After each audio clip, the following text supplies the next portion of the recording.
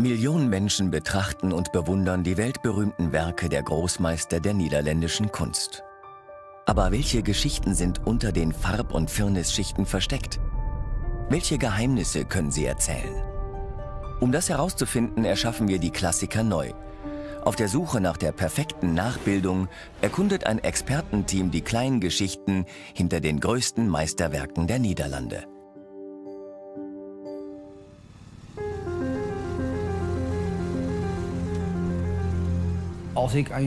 Bei Hieronymus Bosch denke ich vor allem an Alb- und Tagträume, Visionen, LSD-Trips und die freakigste Vorstellungskraft, die mir jemals in Bildern begegnet ist. Die eigentlich ooit is neergeschilderd, wat mij betreft. Das Merkwürdige an dem Hausierer ist, dass er für einen Bosch ein sehr realistisches Gemälde ist. Das Bild sieht auf den ersten Blick so einfach aus, aber gleichzeitig so wirkungsvoll. Ich will wissen, wie der das gemacht hat.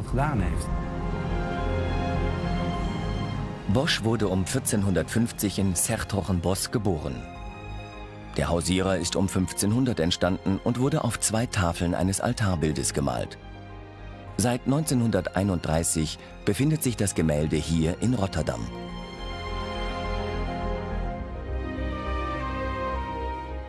Ich bin hier im einzigen niederländischen Museum mit Bildern von Hieronymus Bosch. Hing da ein Bild? Es wurde nach Sertogenbosch ausgeliehen. Ganz schöne Reise. Der Hausierer geht auf Reisen. Das ist das einzige Museum mit Gemälden von Hieronymus Bosch in den Niederlanden. Wie wichtig ist der Hausierer für Sie? Der Hausierer ist ein wichtiges Werk, auch weil Bosch das Motiv häufiger benutzt hat. Es ist natürlich so ein unglaubliches Gemälde, eigentlich das Flaggschiff von Bosch, das wir gerne haben würden, um ihm näher zu kommen, um es besser zu verstehen und dem Geheimnis von Bosch auf die Spur zu kommen. Der Plan ist, in fünf Wochen eine Rekonstruktion anzufertigen. In fünf Wochen? Ja, geht das? Nein. Weil? Ain't nothing like the real thing. Das Gemälde hat eine einzigartige Ausstrahlung und Kraft, einen eigenen Zauber, der einen gefangen nimmt. Mit welcher Kopiertechnik oder anderen Mitteln Sie da auch rangehen, es wird anders aussehen. Davon bin ich fest überzeugt. Ja, das wird sehr schwierig. Wir möchten die Rekonstruktion neben das Original hängen. Für einen Tag geht das. Ja, dieses Bild abgemacht.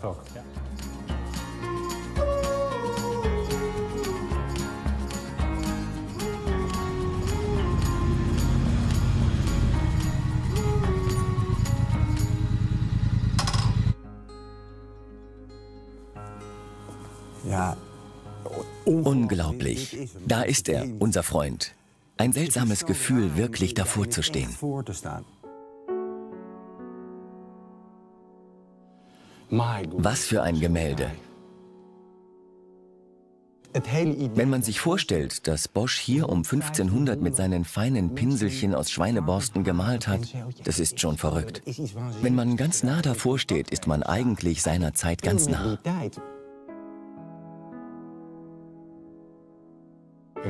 Sehen Sie sich zum Beispiel das Auge des Höllenhundes an. Im linken Auge sieht man das Weiß. Das rechte Auge ist viel dunkler und an der Schnauze sind Härchen. Und der Ausdruck seines Kopfes. Allein dafür braucht man schon fünf Wochen. Ich fürchte, das wird unmöglich. Ich vrees dat het on onmogelijkheid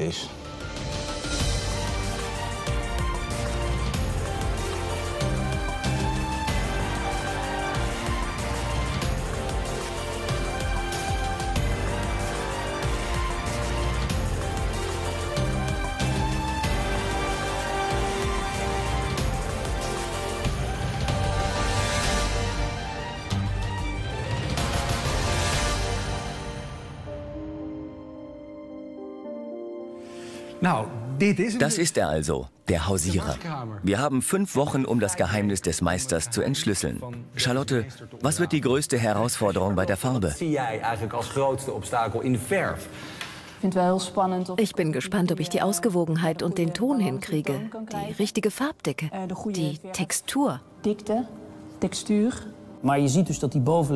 Die oberste Farbschicht ist offenbar mit der Zeit transparenter geworden. Deshalb erkennt man wohl die Unterzeichnung so gut. Das war wahrscheinlich keine Absicht, wie zum Beispiel am Rücken des Hundes hier. Das ist erst später hindurchgeschimmert. Das kam später, aber die Frage ist, in welchem Maße. Die beiden Tafeln wurden im 18. oder 19. Jahrhundert zusammengeklebt, um ein Bild daraus zu machen. Das ist allerdings nicht ganz geglückt, denn die beiden Teile wurden nicht gut verleimt. Deshalb haben sie immer etwas Ungewöhnliches. Ziemlich schludrig, oder? Ja, seltsam. Dafür gab es bestimmt einen Grund. Aber man hätte es natürlich besser machen können. Für Bert besteht die Herausforderung in der Herstellung des Rahmens. Aber auch die Tafel mit dem Bild des Hausierers ist nicht aus gewöhnlichem Holz. Sieht so aus. Man zerteilt den Baum zunächst in vier Viertel. Dann werden die Teile herausgesägt. Dabei sieht man, dass die Jahresringe gerade auf dem Holz stehen, damit das Holz weniger arbeiten kann. Das Rot vom Rand stammt von einer Pflanze, dem Färberkrabb. Diese rote Farbe hat man zu Boschs Zeiten häufig benutzt. Die Pflanze wurde auch in den Niederlanden angebaut. Das ist eine rote Wurzel, oder? Sie ist zuerst gelb. Man muss sie einweichen und dann den Farbstoff extrahieren. Das versuchen wir auch. Wir haben nur fünf Wochen. Versus 500 Jahre. Genau.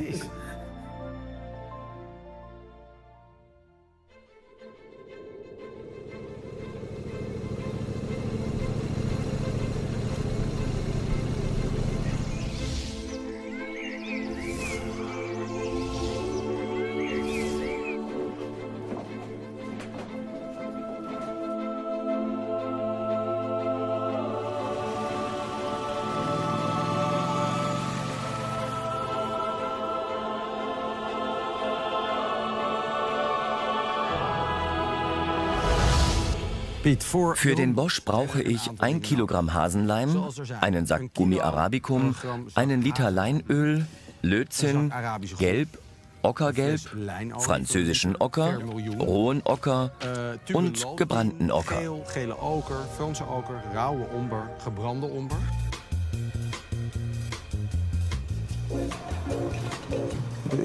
Das erste Stück, mit dem wir die Tafel machen, ist fertig. Es muss alles schnell gehen. Wir haben nur wenig Zeit. Danach übernimmt Charlotte. Das wird echt spannend.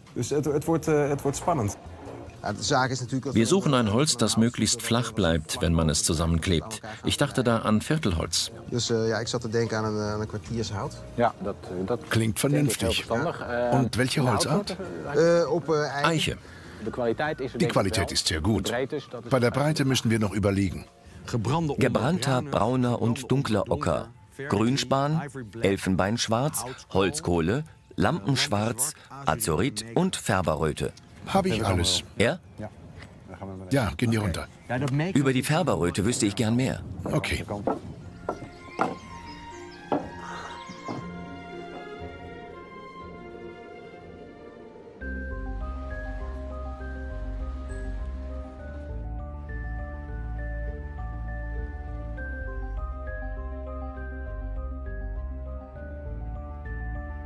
Hier küssen sich zwei. Da pinkelt einer. Das Gefäß auf einem Stock ist eindeutig ein erotisches Symbol. Die Unterhose. Das muss ein Bordell sein. Aber kommt er aus dem Bordell, läuft er vorbei oder geht er zurück? Das ist das Spannende, das die Bildmitte dominiert. Man weiß es nicht, so wie man als Mensch eine Wahl treffen muss. Entscheidet man sich für das Gute oder für das Böse? Dieses Gemälde ist wohl wegen des Gesichtsausdrucks des Mannes so berühmt. Für mich gehört es zu den schönsten von Bosch und ich darf darauf Acht geben. Sein Gesichtsausdruck macht das Bild aus und das scheint mir das Schwierigste zu sein. Das ist zwar nur ein kleines Detail, aber mit seinen Augen stimmt was nicht. Er sieht aus, als ob er schielt. Sein Ausdruck ist ziemlich unklar. Man kann alles Mögliche hineininterpretieren. Warum zum Beispiel schaut er schräg nach unten? Auf die Augen muss ich mich besonders konzentrieren.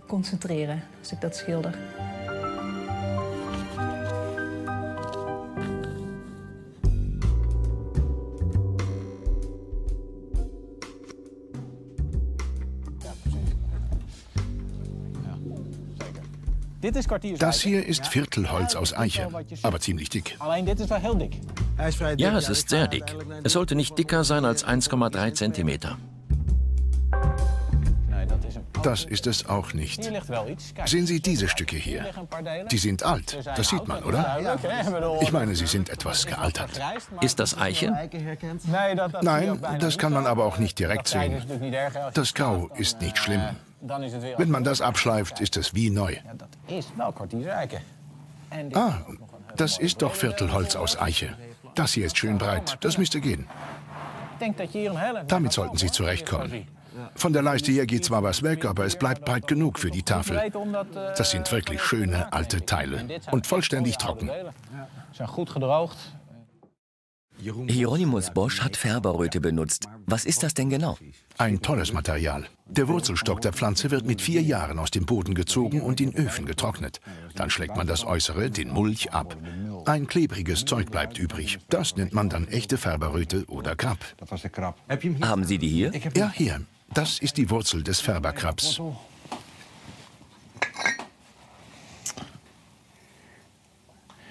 Wenn Sie genau hinsehen, erkennen Sie das Rot. Und das ist gemischte Färberröte, der Farbstoff. Interessant, nicht?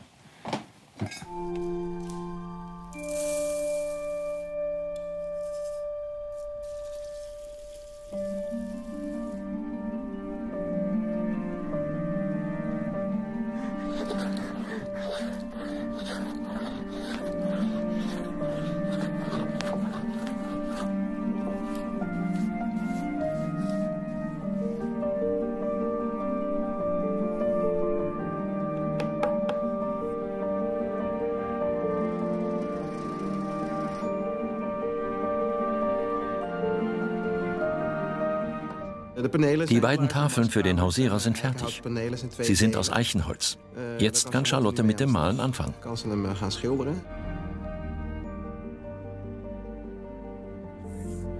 Der Hausierer musste in seiner 500-jährigen Geschichte viel aushalten. Bosch hat ihn ursprünglich auf die Außenseite von zwei Altartafeln gemalt. Im 18. Jahrhundert wurden die verleimt und zu einem Achteck zugesägt. Das machen wir auch, wenn Charlotte fertig ist. Aneinanderkleben und den Rest absägen. Echt radikal, was die gemacht haben. Ja. Das war doch idiotisch. Haben die sowas öfter gemacht? Ja, Bilder wurden häufig zerteilt, um sie einzeln zu verkaufen. Manchmal konnten sie wieder zusammengefügt werden. War es um 1800 üblich, aus einem Altarbild ein Gemälde zu machen, das man sich schön zu Hause aufhängen kann? Darum ging es ja wohl. Wir werden das genauso machen und zwei einzelne Tafeln malen. Dann verleimen und zu einem Achteck zusägen.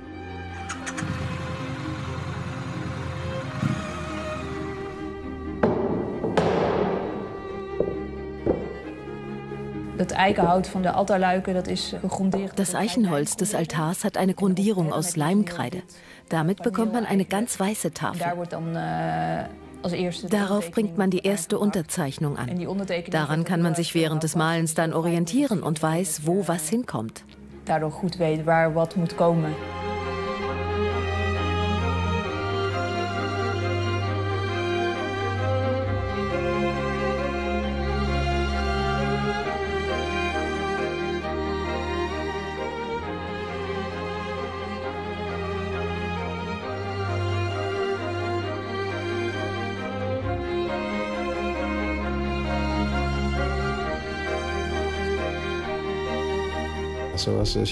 Charlotte wird beim Malen gefordert und ich beim Rahmen.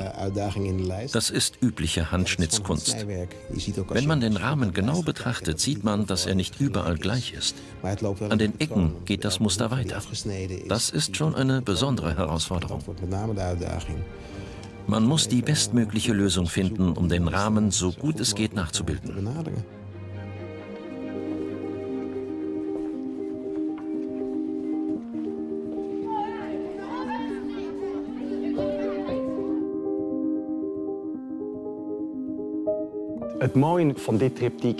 Das Triptychon zeigt auf der Mitteltafel das volle Leben. Links den Himmel und rechts die Hölle.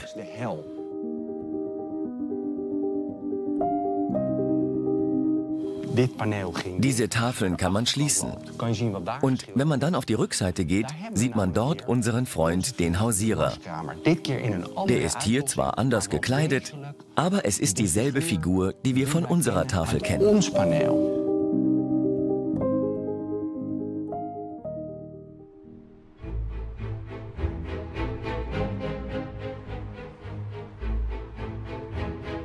Professor Joris Dick sieht sich die Unterzeichnung des Hausierers an. Die ist durch die Farbschichten gut zu erkennen. Ob das während des Malens auch so war?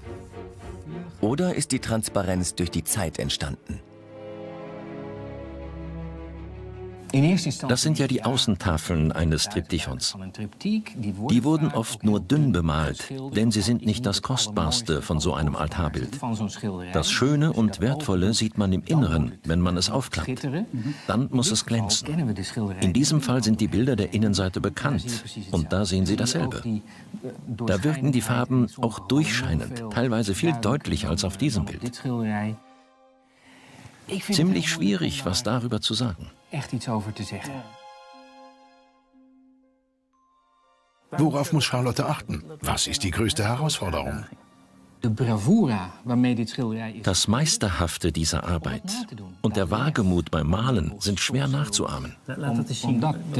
Beides steckt in kleinen Details, die allein nicht viel ausmachen, aber insgesamt wirkt das Ganze suggestiv. Ich glaube auch, dass das Bild schnell gemalt wurde. Schnell neergezet. Ich denke, dass es schnell ist geschildert. Ja, Wenn man schnell malt, muss jeder Strich sitzen. Das ist wohl das Schwierigste. Want als je daar drie, vier, vijf Wenn man drei, vier, fünf Mal versuchen muss, das Gesicht hinzukriegen, entsteht eine ganz andere Wirkung. Das ist die größte Herausforderung.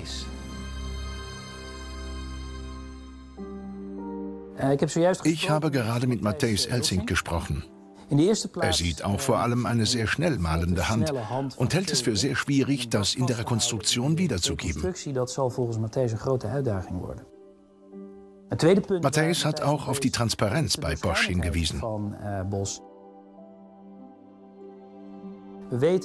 Es ist bekannt, dass die Farbe im Laufe der Zeit immer durchsichtiger geworden ist.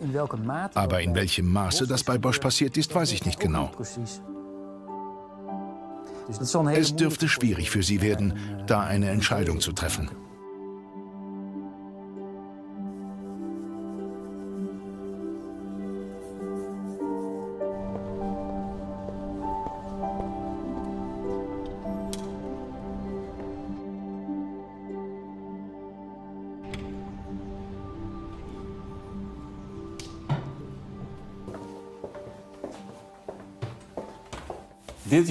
Das wird der krönende Abschluss des Hausierers, den Charlotte gerade malt. Wieso? Auf diesem Bild liegt vergilbter Firnis. Den können wir gut für die Rekonstruktion benutzen. Ich werde dieses Bild abmalen und habe hier schon mal angefangen. Den Firnis behalten wir zurück. Die Wattestäbchen lege ich sofort in den Becher und gieße Alkohol dazu. Dann bildet sich ein Extrakt des alten vergilbten Firnis. Den tragen wir dann auf den Hausierer auf. Kommen wir Bosch damit näher? Ja,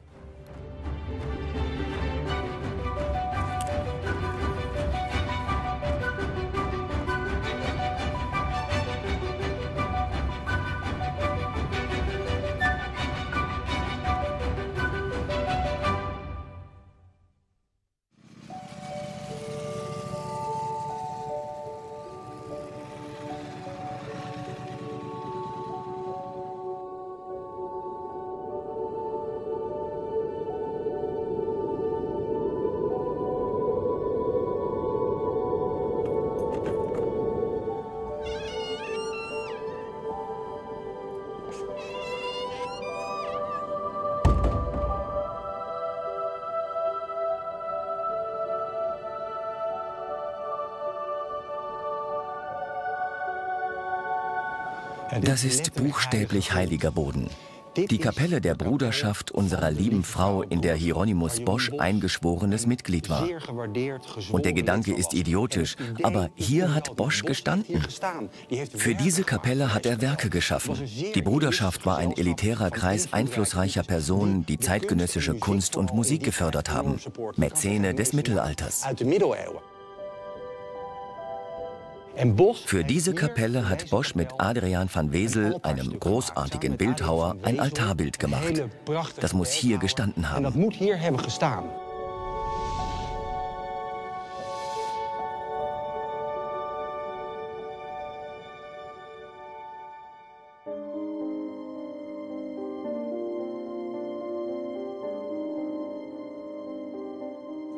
Am besten scannst du das ein.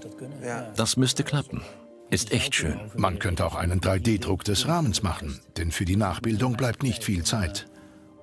Mit einem 3D-Druck kannst du die Schnitzereien rekonstruieren. Dann hast du wenigstens schon mal die Form, die reine Oberfläche. Die Nachbearbeitung kommt danach. Die Goldschichten und die Patina, die sich später gebildet hat, müssen per Hand nachträglich draufgemalt werden. Das dürfte aber schwierig werden. Ja, klingt schwierig.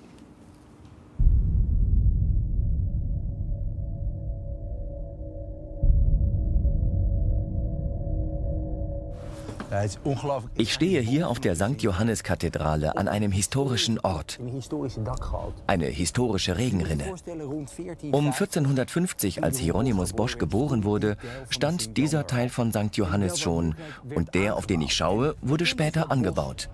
Bosch war mit dem Architekten von St. Johannes gut befreundet und ist dort hinunter in die Ateliers gegangen, wo die Bilder gemalt wurden.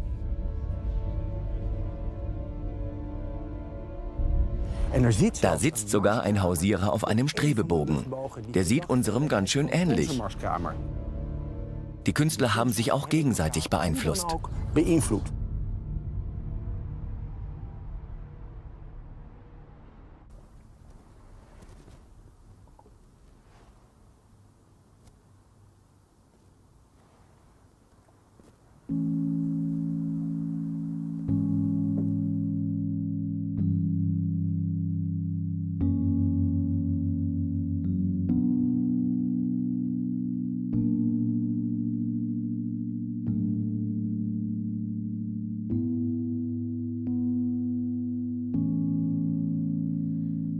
God awful small affair to the guy with the mousy hair. But her mom is yelling no, and her dad is told to go. But a friend is nowhere to be seen. Now she walks through a sunken dream to the seat where the clearest view, and she's hooked to the silver screen.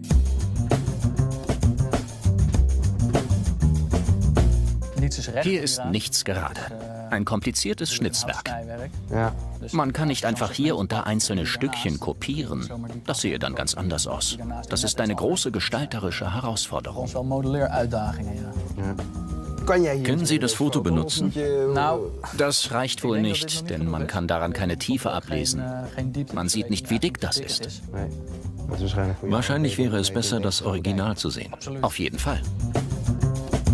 Diese Wurzeln stehen schon seit zwölf Tagen im Wasser?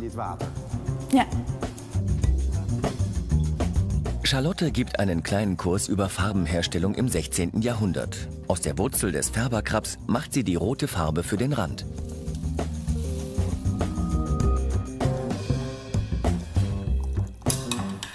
Schüttest du das zusammen? Kann ich das einfach so zusammengießen? Setz lieber eine Brille auf. Gibt es eine Reaktion? Ja, es wird wohl ein bisschen schäumen. Naja, die Brille ist vielleicht doch etwas übertrieben, oder? Na, das ist nicht gut für die Augen. Schütte nur die Hälfte rein.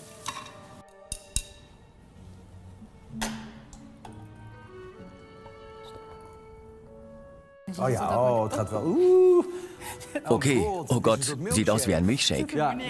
Okay, ich glaube es. Das ist echt merkwürdig. Wie aufwendig das damals war, Farbe herzustellen.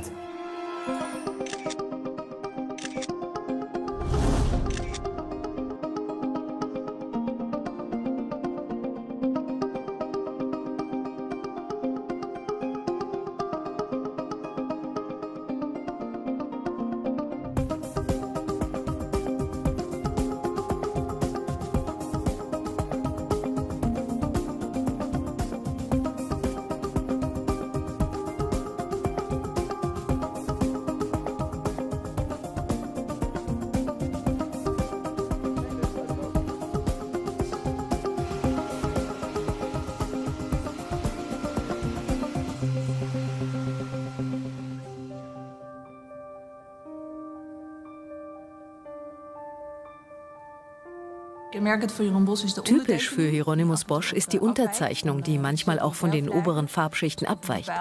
An einigen Stellen der Unterzeichnung, wie bei der fliegenden Schwalbe, hat er drüber gemalt.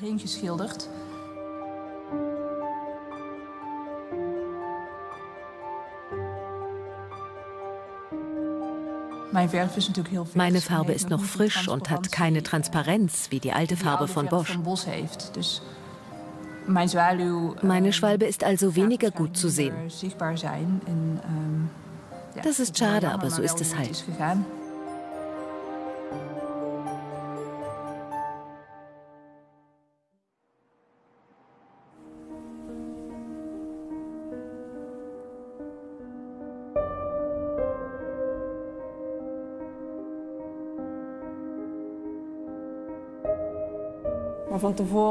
Von Anfang an und auch im Museum haben alle gesagt, dass das unmöglich ist. Und wenn das jeder sagt, fängt man selbst an zu zweifeln. Ich zumindest.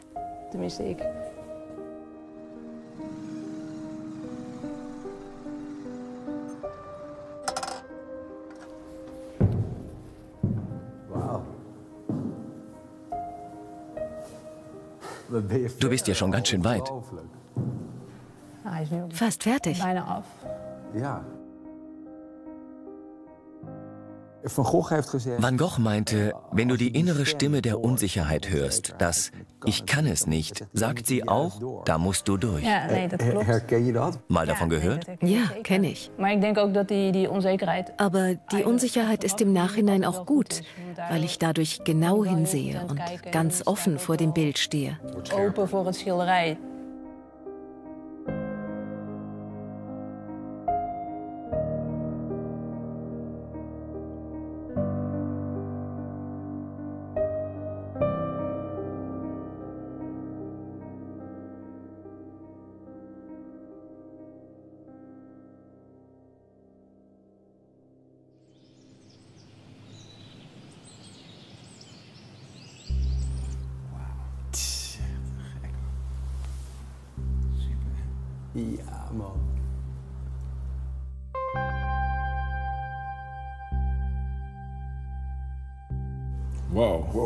Wow, was für ein Ergebnis. Eine Ehre für Hieronymus Bosch. Stimmt.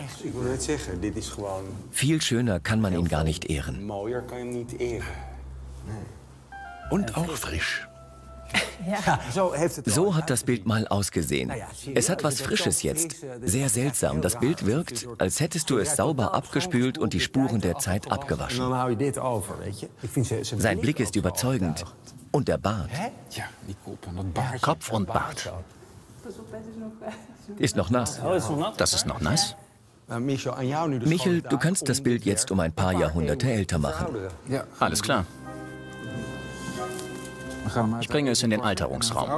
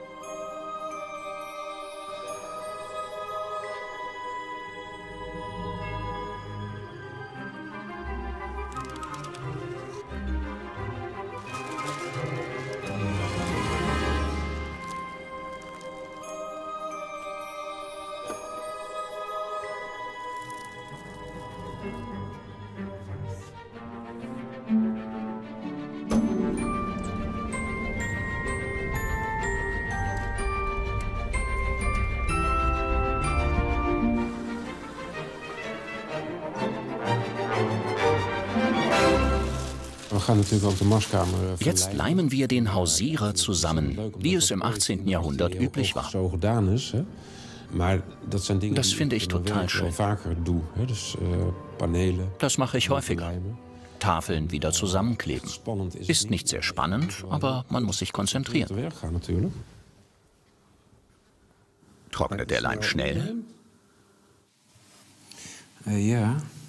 Ja, wir müssen sofort loslegen. Auf geht's. Heben wir die Seite an. Ich drehe das.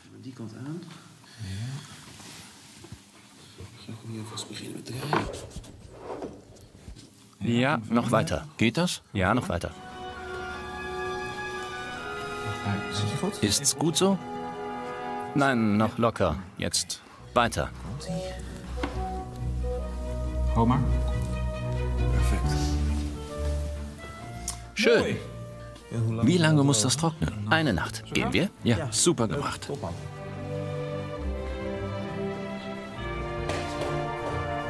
Gedaan. Ja.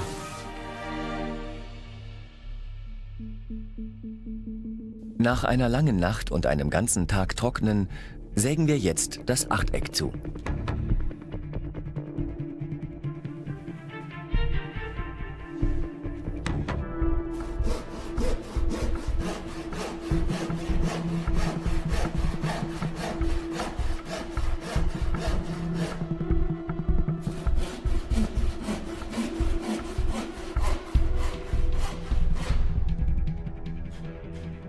Sieht gut aus, oder? Nicht viel abgebrochen. Nichts abgebrochen. Nicht ganz einfach, so präzise zu sägen.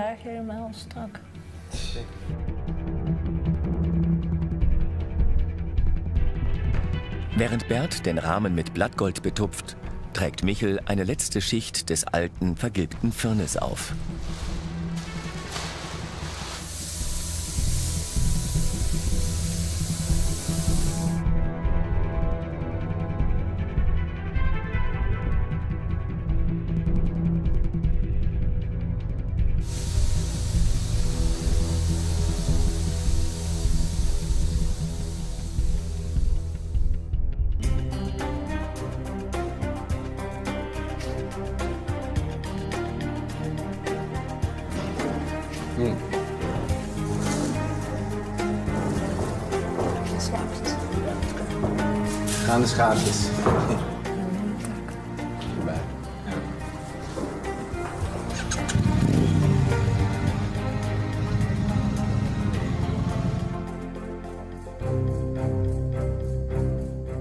Es kommt darauf an, dass es überzeugend wirkt. Das betrifft vor allem die Details. Ich finde, es gehört zu meinen besten Bildern.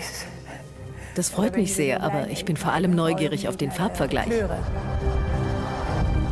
Den Ausdruck der Person zu treffen, ist beim Malen das Schwierigste. Aber der macht das Wesentliche des Bildes aus. Von allen Bildern, die wir bis jetzt behandelt haben, ist diese Rekonstruktion zeitlich am weitesten vom Original entfernt. Mit ihr ahnt man, wie das Bild ursprünglich ausgesehen hat.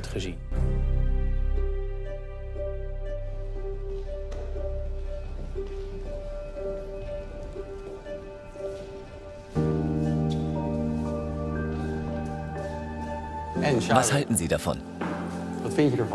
Finde ich echt gelungen.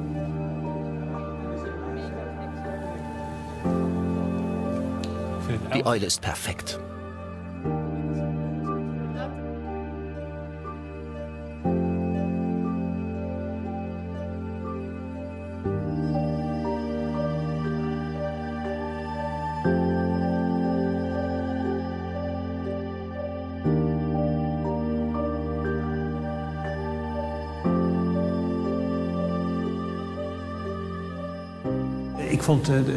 Das Gesicht gefällt mir sehr gut. Vor allem die Haarbüschel durch den Hut. Perfekt. Das sieht man sich gerne an.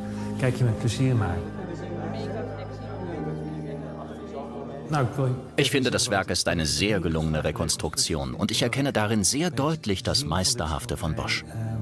begrijpen. Sie und Ihr Team sind ihm damit sehr nahe gekommen. Prachtig vind hoe het jullie en het hele team is gelukt om erbij in de buurt te komen.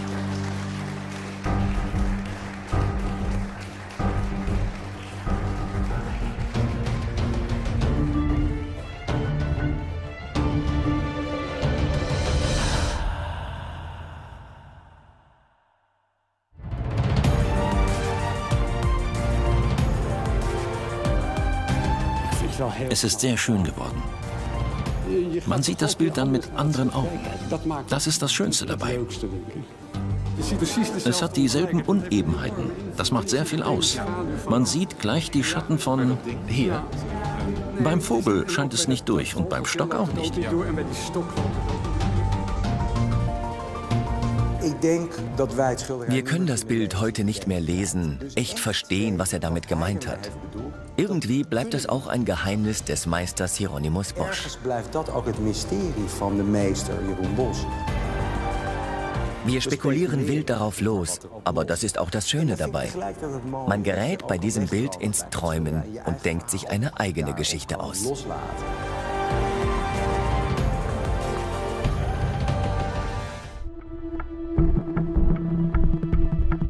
Morgen Abend geht es weiter mit unserer Reihe über die großen niederländischen Meister.